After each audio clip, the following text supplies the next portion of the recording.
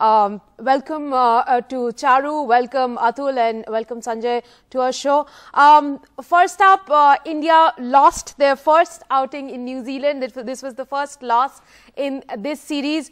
Uh, the pitch was good to bat on. We know 348 runs were scored by the Indians, chased down by New Zealand. But would you say that those 102 runs scored by India in between those 20 overs is what really was the difference between the two sides? Uh, uh, Atul, to you first.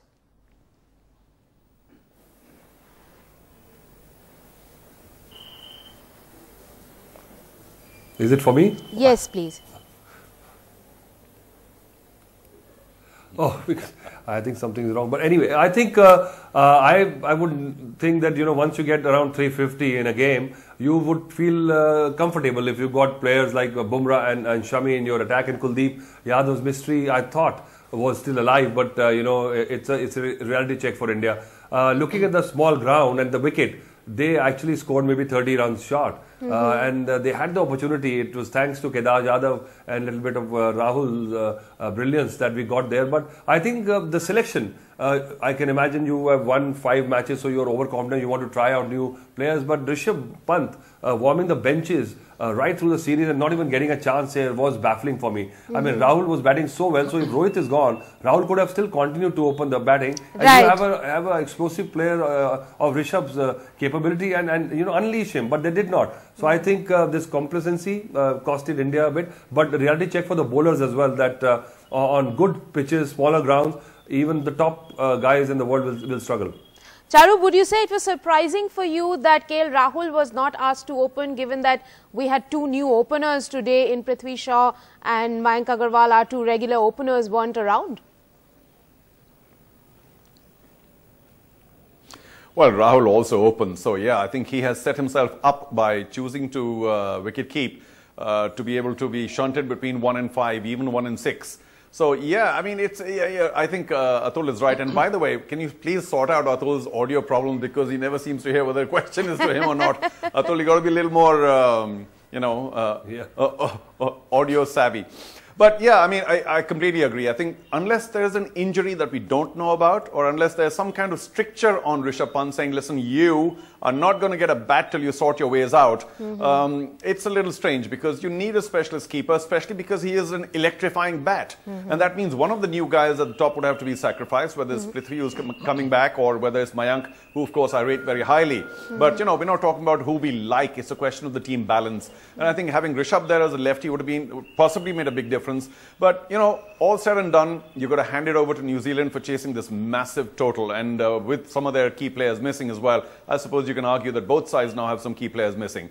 But um, right. yeah, I, I, am I'm, I'm fine. I'm dying to see what Rishabh Pant's problem is. I mean, mm -hmm. if he's mm-hmm. fit, play him. Mm -hmm. uh, Sanjay, to you, uh, we had two wicket keepers from two sides coming in in the 29th over, one scoring 69 of 48 balls and one score, another scoring 88 uh, runs of 64 balls. That is KL Rahul and remaining unbeaten.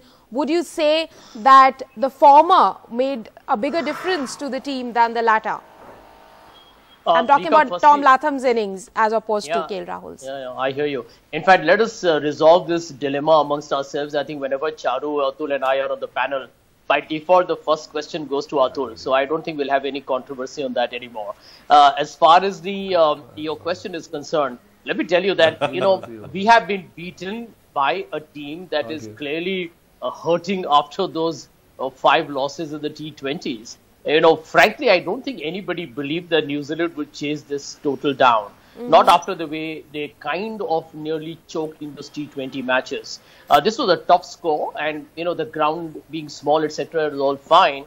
But it's never easy to chase such a big total with a fairly good bowling lineup from India. So full credit to the New Zealand team. But you know, I believe that every knock, uh, therefore, I think has got his own pivotal role.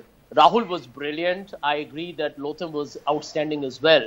But don't forget that even when we are slightly critical of the fact that in 20 overs we scored just about 100 runs, yeah. I mean that that is what created the foundation for the others at the mm. fag end to go, you know, ballistic. So you know it all contributes towards a larger cause. And I agree with what uh, what I think Atul mentioned earlier.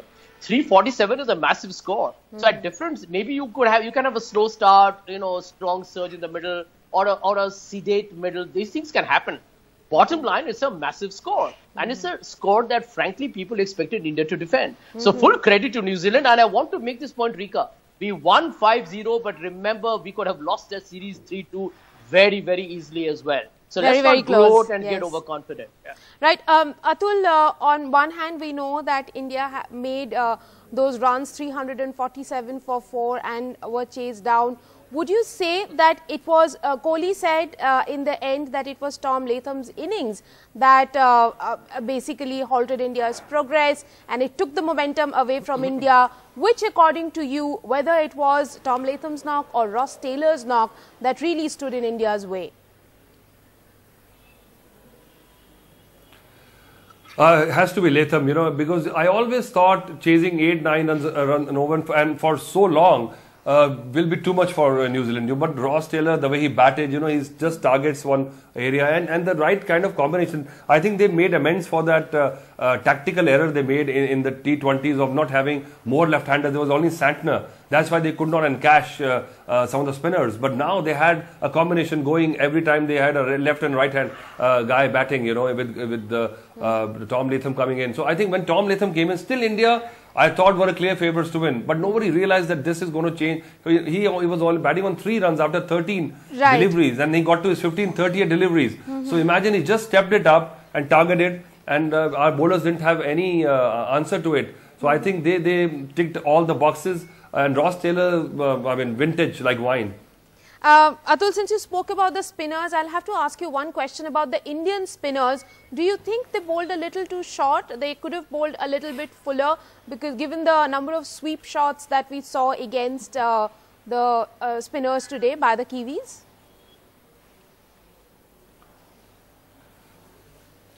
No, I don't think so. I think Jadeja bowled well. Uh, the only uh, criticism which I uh, can heap on his bowling was that he bowled too fast. And uh, looking at the ground, uh, uh, you know, me- measurements, I think he did the right thing. But Kuldeep uh, going for so many runs was a, a surprise for me because you know his googly is still unreadable. You Right. either you know when in doubt, the only exit plan for a batsman is to sweep. But you got to give that length to sweep. So Kuldeep actually didn't vary the length too much, and that's why he, he went for so many. Uh, well, Charu, would you say that you're a, uh, you would have liked to see Kuldeep and Chahal play this match together? Was there um, sort of a selection surprise in there?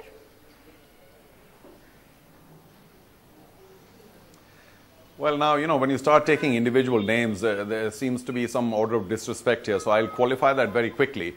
I just feel that we're all getting a little carried away with the whole concept of New Zealand and fast pitches and bouncy pitches and what have you. But that's meat and drink for them because, you know, a, a regular medium pacer who ca- really can't do too much with the ball as in, for instance, if I may say so, Shardul Thakur may have been replaced with another spinner because obviously, as we know, most overseas countries, especially New Zealand, don't play spin all that well. And having that, uh, you know, double leggy attack, one left arm leggy, one right arm leggy, might have worked a lot better, uh, without question for me. Because unless you have an express paceman, somebody over 145 or so, yes, you can play him on those pitches, even though New Zealand may be far more used to it. But they're certainly not as much used to Yuzvendra Chahal as uh, they would be to a, a gentle medium pacer. So yes, I, I, I do think that we should have gone in with another.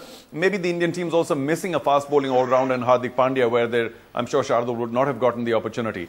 But just to talk about length, you know, every time you play a different country, different pitches, the key thing is what length to bowl on. And surely that length was, uh, the Indian bowlers were a little confused, particularly Kuldeep, because a short, uh, uh, you know, as it is, a wrist spinner is likely to give you one or two boundary balls virtually every over. So to keep it fuller, better than shorter, would always keep the batsman a little more tentative. Short, of course, you know, they love playing square of the wicket. So it becomes very easy for uh, a batsman such as from New Zealand, Australia, uh, to play the square off the wicket. So you have to keep it a little fuller. That I agree. Uh, Sanjay, would you say there was a little bit of a tactical error on the part of Virat Kohli because he, he gave the 48th, 48th over to Shardul Thakur? He could probably have given that to Mohammad Shami. Well, I can tell you that, um, as I say, nothing succeeds like success. Um, but if you look at uh, Thakur's performance in the T20s, he wasn't too bad. He played a very key role in, in a couple of our victories. And, and, you know, again, you know, this is one reality that we need to accept that in conditions like in Australia or New Zealand or South Africa, even a medium pacer, an innocuous medium pacer from India, does develop, you know, their own little monstrous toxicity to try and destroy the opposition. Right. So, you know, you become a lot more lethal there. So these are calls that a captain has to take. It works sometimes, sometimes it doesn't. But I do believe that, you know, at the death, even if, uh, you know, you could have given the over to Shami, the truth is that New Zealand were ahead at throughout the entire innings once mm-hmm. both Latham and, and I think uh, Taylor had really settled in. Mm-hmm. And I do believe that, however, you felt that there were nerves. It was very palpable that New Zealand was still kind of, you know, kind of recovering from those dismal shocks of losing those, uh, you know, super overs. Mm-hmm. So you, you're, you're right. But, but you do need to take a call as a captain and hope that, you know, end of day that uh, everyone comes good. Don't forget, uh, you know, Rika, that a Thakur is a long-term prospect. Mm-hmm. And bowling at the death is one of the best ways by which you get the experience of being your team's vital man in the, one of the most tense situations. So these are good things to do. I, th- I think that was fine. I mean, it's okay. Right. We have a little more to discuss with you on the match. We will talk about India's fielding, but time for a very, very quick break on the show. More on the other side. Do stay tuned.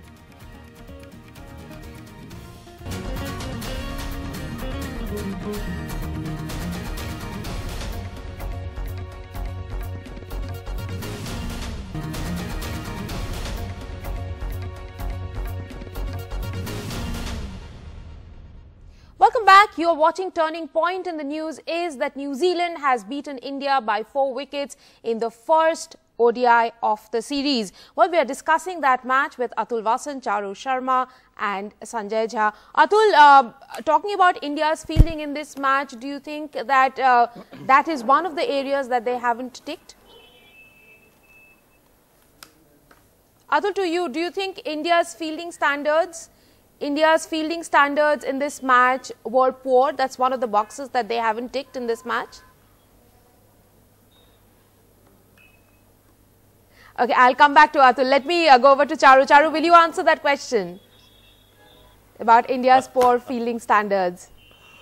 Yeah, well, it has it has certainly not been 100%. And somebody who's one of the best fielders in the world will feel particularly hard done by. That's Virat Kohli. Even he has missed a catch earlier on in the T20. So I don't know what it is about the atmosphere or the air or whatever or the visibility in New Zealand. But yeah, we've been a little poor on the fielding front. But that's not an excuse for losing uh, uh, today, earlier today. Because I think New Zealand just outplayed India to win very comfortably, chasing 348 was uh, quite fabulous. And I think we haven't given enough credit to, um, to Ross Taylor because he wasn't just anchoring one side. His 100 came in 73 balls. Now, by any standard, that's a very quick 100. And then, of course, he realized that he needs to stay till the end rather than giving it off like he did in the T20s and played a very careful game thereafter to make sure he was not out to remain there till the team won. So I think he played a very careful, clever, and, and important game, uh, did uh, Ross Taylor, the skipper. And I don't think we're giving him enough credit. We talked about Latham and even Nicholls earlier on. But it was Taylor's all the way. I'm glad he got a man of the match. He's a wonderful man, of course, a, a good cricketer. But I suppose sometimes uh, he lets pressure get to him. But yes, right. uh, India need to up their fielding at the very least uh, if they are to uh, get the better of uh, the New Zealand uh, team in the one days. But let me just say this I think order has been restored. Now, Sanjay touched upon this earlier, saying that by no right should we have won the T20s 5 0 because a couple of matches we should have lost easily. Mm-hmm. But, you know, by that happening, a lot of people might have suddenly turned a little cynical and said, well, New Zealand, no match at all. They are not a bad team at all and they're playing at home. So all the advantage right, really and so many of their is, uh, uh, men are injured in this uh, series. Once they come back, maybe it'll be a different team altogether. But before we close out the show, uh, Sanjay, I have to ask you that for the first time since 2015, India has seen century stands from the third and the fourth wicket in an ODI and fifth overall. Would you say this kind of a power packed performance from the Indian team was missing for a very long time and now it's heartening? Even though we lost the match, it was heartening to see how the third and fourth wicket uh, uh, uh, pair performed. Uh, Rika, you know, comparisons are odious, so I'm not going to get into it. Because if you do a deeper analysis, you'll find that the bowling attacks in the past used to be simply outstanding. And I think even as Charu mentioned, even here, some of the best bowlers are not really in the game. Uh, but yes, there is no denying this that the Indian batting at the moment is at another level of that formidable aggression. Mm-hmm. The consistency is mind boggling because KL Rahul, Virat Kohli, Rohit Sharma, All Right. these guys are in blazing form, match Mm-hmm. after match in different formats. Now, this is something that, frankly, a lot of us haven't seen before. Mm-hmm. So, yes, there is no denying there is a momentum. Mm. But I think, you know, let's recognize the reality. In, the, in the abbreviated formats of the game, the momentum can shift. So Right. let's suppose, I mean, uh, today's victory ought to give New Zealand enormous Mm-hmm. confidence and self-belief that, you know what, maybe they hit a little bit of bad luck in the T20s, and right now they're just about beginning to hit a purple patch. Mm-hmm. Right. It's just possible. Yeah. Right. Thank you very much, gentlemen, for joining me on the show. We have completely run out of, run out of time, but uh, there are two more ODIs to go in the series on the 8th and the 11th of the match. We'll come back to you with Turning Point. Thanks for watching today.